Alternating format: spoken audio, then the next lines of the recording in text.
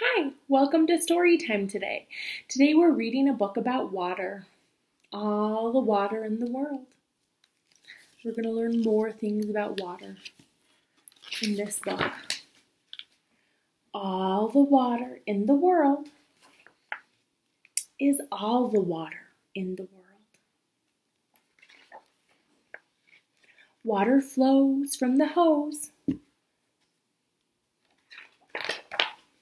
It wobbles in blue pools and it fills your cup up. But where does it come from? Hmm, I wonder if any of you have guesses where water comes from. Let's see. Water doesn't come, it goes around. The rain that cascades from clouds and meanders down mountains that, wa- that waved over waterfalls and slipped into rivers and opened into oceans, that rain has been here before. Thirsty air licks it up from lakes, sips it from ponds, and guzzles it from oceans, and this wet air swirls up till it's drowned, till it's crowded in the clouds, where it hangs hotly till cool air bumps through and honey, those clouds just let it go.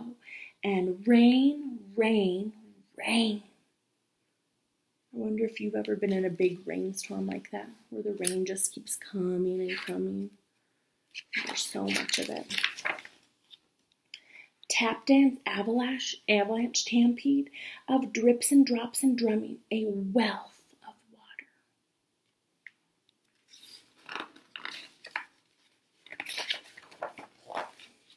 But far away, it's a different day. No sound but wind, empty cups again. Dry grasses will rustle and dirt's just dust.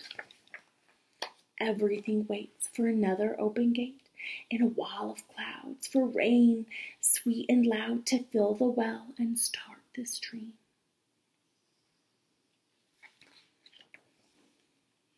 Honey, living things dream of water for all of us to drink or use in the tub or sink, washing, splashing.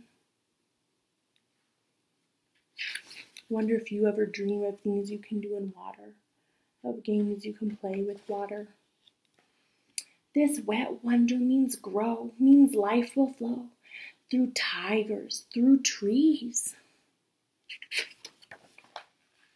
through you and through me all of us use water. All, all, all together now.